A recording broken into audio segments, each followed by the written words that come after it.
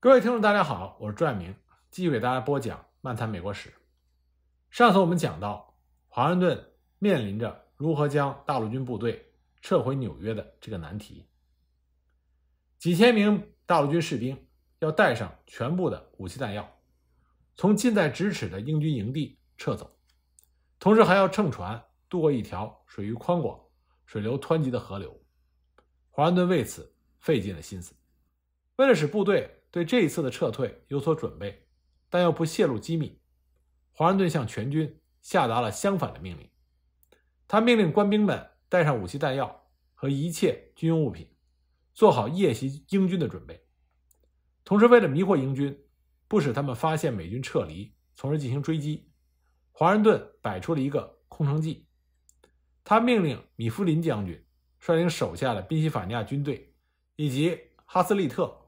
斯摩尔伍德和汉德上校的三个团留在防线上，照常布设岗哨，守卫警戒，好像什么事情都没有发生一样。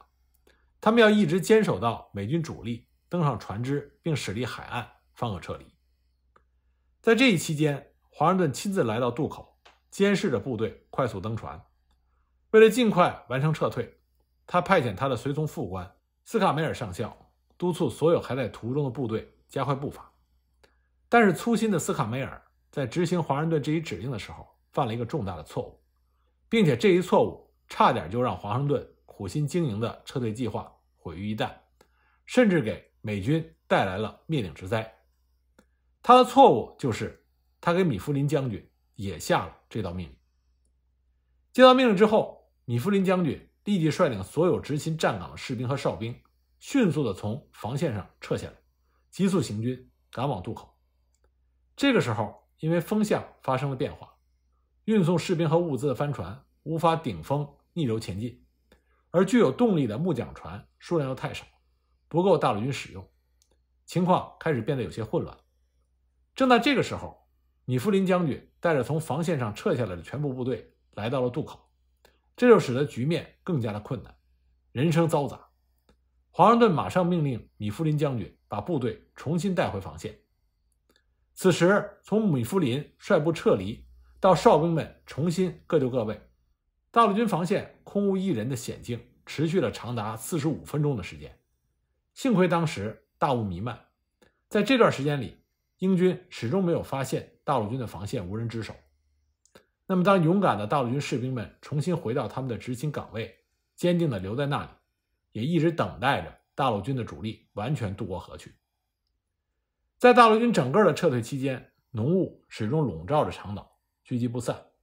而在河流的纽约一侧，却是月白风清。后来，连逆风都逐渐的平息下来，河面变得十分的平静。满载士兵和物资的木桨船几乎可以全速航行。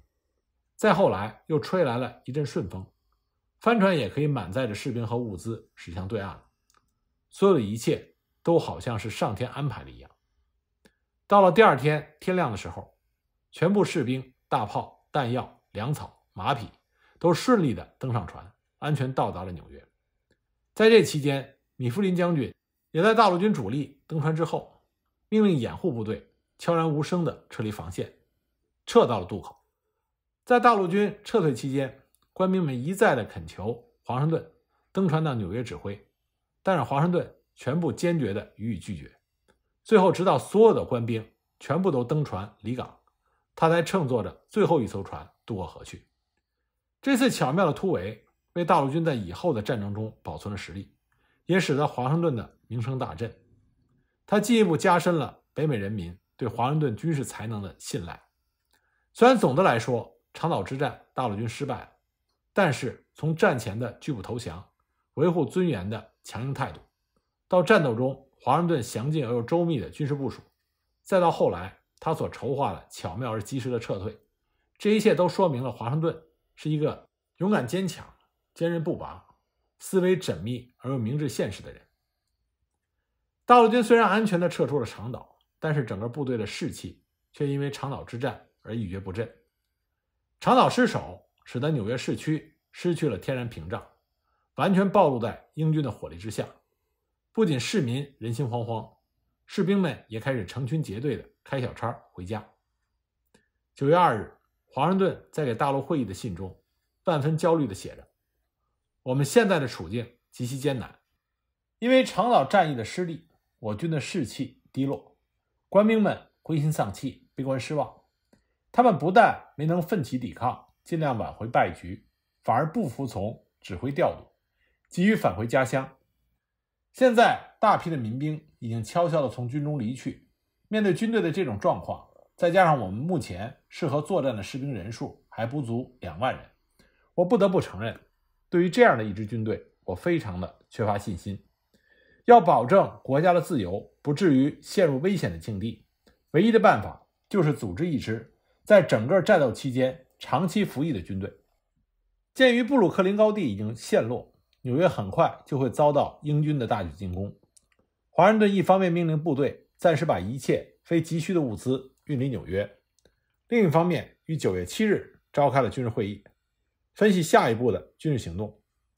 在这次会议上，华盛顿指出，英军意图用军舰遏制大陆军的正面防线，同时派军队绕到大陆军的背后进行登陆，从而切断大陆军和大陆的联系，把大陆军封锁在纽约岛上。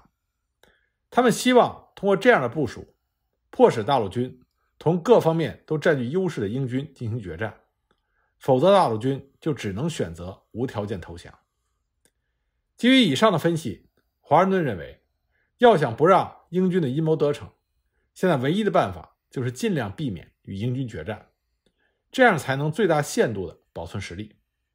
为此，他提出了一个完整成熟的战略构想，坚持防御战和堡垒战，在任何情况下都应该避免。采取大规模的军事对抗，利用北美辽阔的地域与英军长期的周旋。在商讨大陆军是否应该继续保卫还是撤出纽约这一个亟待解决的问题上，军事委员会内部出现了争执。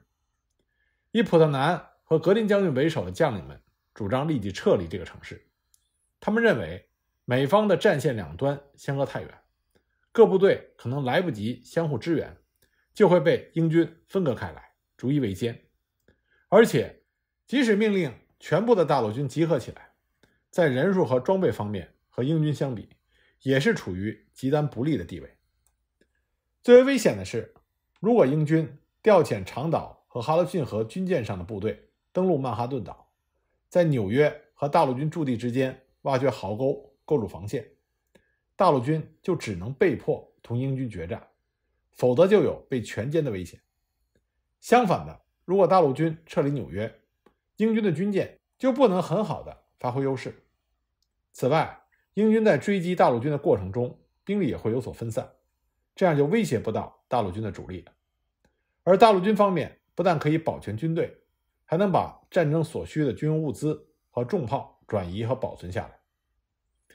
但是，以莫塞尔将军为首的将领们则认为，纽约各处的工事。是美方花了巨大的人力和物力才构筑起来的，而且此处是连接南北方殖民地的关键所在。如果纽约沦陷，官兵们的士气势必会受到极大的影响，独立事业也会因此陷入低谷。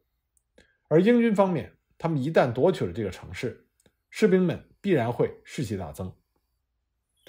此时，北美的冬天即将来临，这样会给英军提供一个好的处所。让英军在这个天然的营地得到休养，同时他们的军舰也得到了一个安全的港湾。就撤出还是保卫纽约的问题，大陆军司令部内部意见分歧很大，双方都是据理力争，争执不下。九月十日，大陆会议通过了一项决议，将放弃或者保卫纽约的最终决策权授予了华盛顿。华盛顿立即召开了第二次军事会议。再次讨论撤离还是守卫纽约的问题。在这次会议上，华盛顿发表意见，他认为撤出纽约不仅是明智的，而且是绝对必要的。丢失的阵地可以收复，但是官兵们的性命一旦丧失，就无法挽救了。因此，他不顾留守派的数位将军的意见，毅然决定撤出纽约。他下令将军队驻留期间。除了必需物资之外的全部军需储备撤走。九月十四日，大陆军向北撤到了纽约曼哈顿岛通向大陆的唯一桥梁国王大桥。在这里，大陆军遭到了英军军舰的袭击。英军打算把大陆军包围在岛上进行歼灭。由于大陆军刚刚在长岛战役吃了败仗，士兵们士气低落，无心恋战，部队一度出现了混乱局面。幸亏华盛顿亲自赶到前线，稳定了军心。在他的指挥下，大陆军才得以突围。在这之后，华盛顿又决定放弃了纽约北郊的阵地，加快了撤退的步伐。九月二十四日，面对大陆军被英军围追堵截，而大多数的大陆军士兵的服役期在年底到期的这种困难局面，华盛顿在撤退的途中致信给大陆会议。在信中，他言辞恳切地向大陆会议陈述了组建常备军的必要性，指出现行军事编制的危险所在。他说：“我们的部队再次面临分崩离析的危险局面，除非我们立即提出有效的解决方案，否则我们的独立事业将功败垂成。”接着，他对组建这支常备军提出了自己的见解。他的见解是：奖励每一位。愿意长期服役的士兵二十美元和一百英亩土地，此外，每年给他们配发一套衣服。军官的待遇在此基础之上再丰厚一些。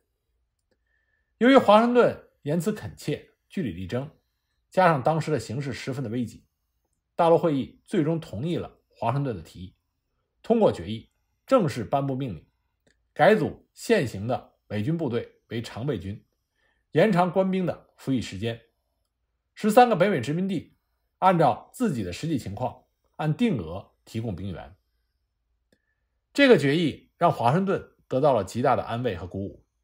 同样使他高兴的还有，经过和英军司令的多次信件交涉，英美双方最终同意交换俘虏。这样一来，长岛战役中被俘的斯特林勋爵和沙利文将军又回到了美军的阵营。一七七六年十月二十六日。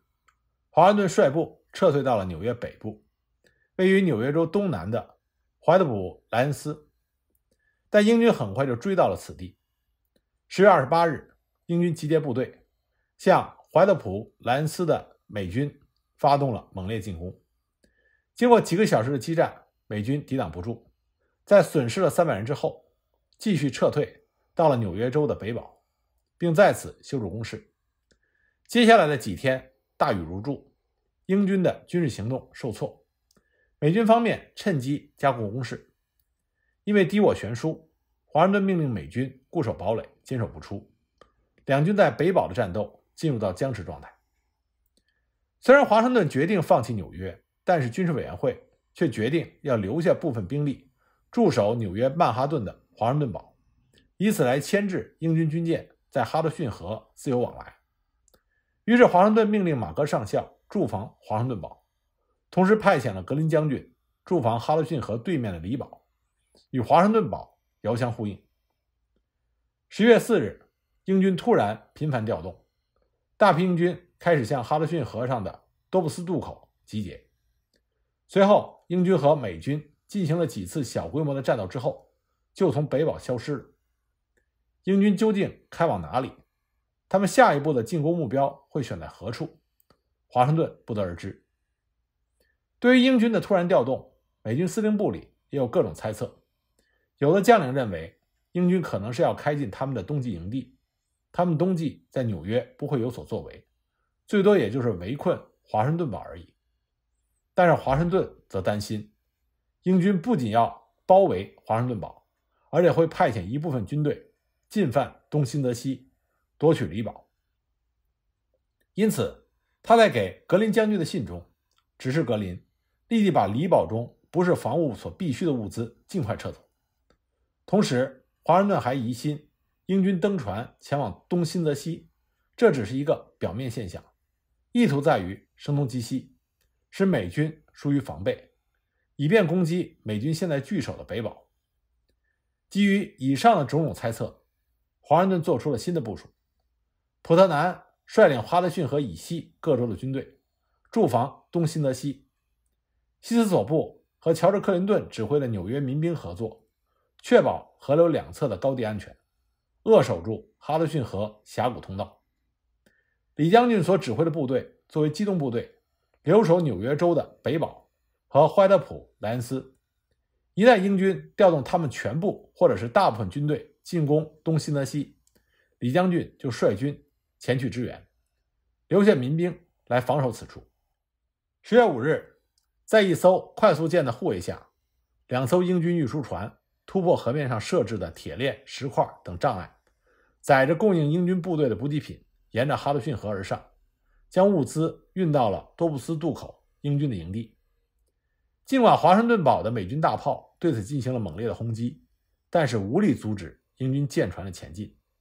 这说明华盛顿堡已经失去了它原有的阻碍作用。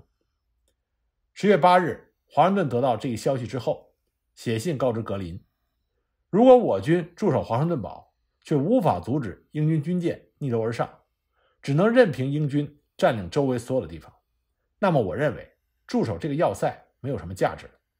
我们没有必要。让华盛顿堡的驻军和我们的军用物资、武器弹药遭受危险。由于你在第一现场，我请你根据具体的情况相机行事，随时准备下令撤离华盛顿堡，同时撤销让马戈上校坚守到底的命令。十月九日，格林将军复信给华盛顿，在信中他依然坚持死守华盛顿堡，因为在他看来，这个堡垒十分的牢固，短期之内英军难以攻克。马戈上校是直接负责华盛顿堡的防御工作。他曾经在十月二十七日击退过从哈德逊河开来的英国军舰。在十一月初的时候，他又数次击退了英军前哨部队对华盛顿堡的进攻。因此，他对这个堡垒的防守相当的自信。他认为英军要攻下华盛顿堡，至少要打到十二月底。